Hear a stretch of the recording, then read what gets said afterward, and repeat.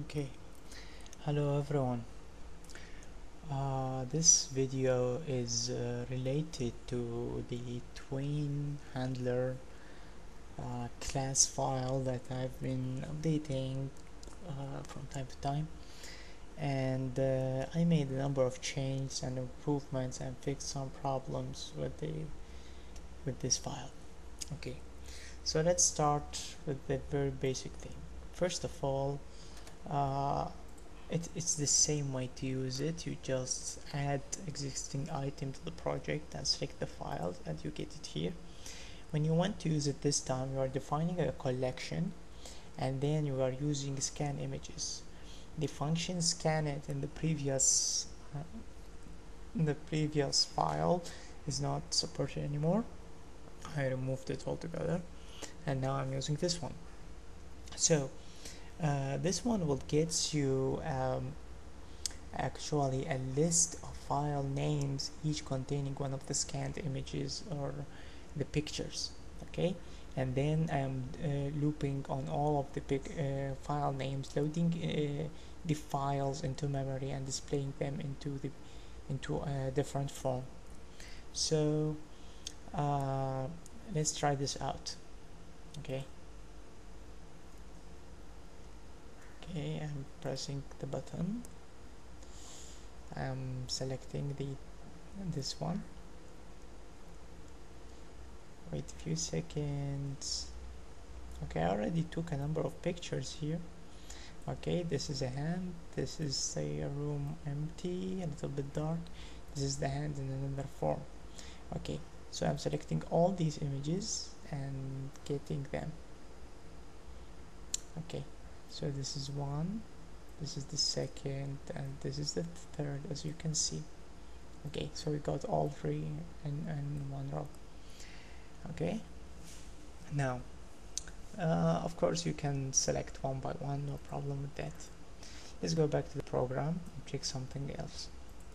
Now this function has two optional parameters. The first one is directory uh, in the previous uh, in the previous file version we we used to write the path where to store the images and we used the C drive. Here you can specify um, uh, and of course in that version we were able to specify any path. Here you don't even have to specify a path. If you don't specify a path the program would assume that you want to store these images in the temp directory okay so it will uh, find out where the temp directory in Windows uh, is and write the images there. And of course you can specify the CD or E drive in any place you would like to. Okay any specific directory you would like to work and place your pictures in. Um, just keep in mind if you are using Windows 7 and Vista you should not write directly into the operating system drive. Okay? The, because the operating system will prevent you from doing that so this is the first parameter. It's optional. You can provide anything or you can neglect it. Now the second parameter if you check it it's the image extension. And uh, here this is not just um, uh, an, an extension. Actually it, it will affect the, the quality of your image. So you can here you can now for example place BMP and this way your your scanned image won't be compressed and stored as JPEG. Of course the size will be very big but the quality will be high. And uh, if you'd like you can uh, you, you, you can uh, change this into PNG okay I don't know what the difference between BMP and PNG I think they're both the same. Anyway so um so basically um, let's also take another picture. I won't turn on the scanner because uh, it's, the same as using the camera. It's the same interface. So I'm using this one. Okay wait a few seconds. Actually I fixed one of the problem that was related to this one. Okay. Let me use higher resolution now. And yeah. So I'm taking a picture okay as you can see this is the picture. And of course the quality is horrible. But uh, anyway you don't see the defects uh, in in the in the image. So now if we if we restore this one as a JPEG run this one again button 1 select this one again. Okay.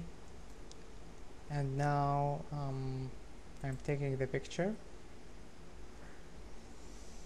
Okay. Hmm. Okay it seems that the image was already bad and I didn't distinguish the defects. Anyway but uh, this one is actually stored as uh, as JPEG so anyway uh, you, you get the idea. So uh, this version solves the problem of where to store the, the image and uh, the the extension of the image itself. Uh, also in, in the previous file if there was a problem in the Twain interface uh, your application usually hangs and uh, how uh, and there is no response or something like that uh, I fixed that. Uh, so now it's working fine. The only problem with this file is this. When you run the application and now let's say you hit the cancel button uh, as you can see I hit the cancel but I did I, I didn't go back to the main window. I got this interface. So now I'm pressing close. Okay? Uh, so, so the, this is the only problem okay? I'll try to find a solution to that and uh, hopefully when I find it I will post it. Uh, so until then I hope you'll find this useful and uh, you'll find hopefully you'll find this better than the previous file and if you have notes or recommendations or ideas um, about this please send them to me. Also check out the website the mkasoft.com and so that you can download the uh, new file. So thank you. Have a nice day. Bye bye